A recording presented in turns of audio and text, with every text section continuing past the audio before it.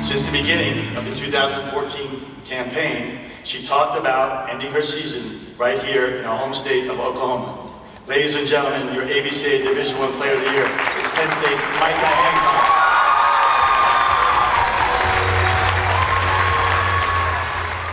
Hi everyone, we're in Oklahoma City, site of the 2014 Division One NCAA Women's Volleyball Championships.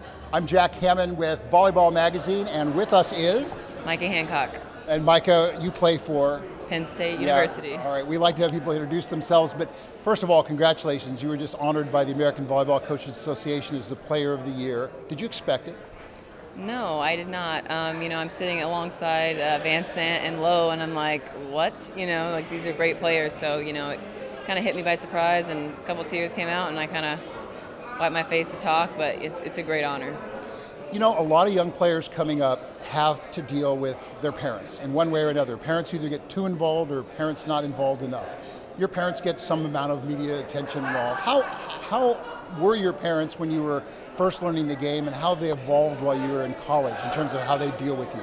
When I first started playing, you know, my mom coached me, so she was always at me to be competitive and, you know, try my best, play hard, and then, you know, as I as I evolved to the Penn State way, you know, she still tries to coach me, but um, um, I've told her, you know, there's a boundary. I have my own coaches, and I love that she wants to help as much as she can, but I also tell her, you know, take a step back, mom. We've got it under control, and I, I know she's doing it to support me. So uh, something that people don't really, if you don't play the game, see all that much is the relationship between passers and their setter. People see the setter and their hitters.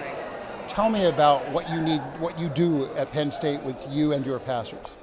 Well, my passers are very talented people, and I am very grateful for that. Um, but uh, you know, I have confidence. I have full confidence in my passers. Uh, you know, Megan and Dom are basically our primary passers, and they do a great job of getting me the ball and you know making my job easier. And um, you know, I look at them and I know they're struggling, and say, hey, you know, one breath at a time, you know, one ball at a time. So I try to calm them down when they get a little antsy, but I, I have full confidence in them. Okay, finally, um, you know that this phase is ending and that you're going to have other phases in your volleyball life. But um, for kids who are just coming up, who are hoping and interested in going to college, what do you wish you knew when you were first entering college that, that you know now? What did you wish you knew that back then when you were first starting?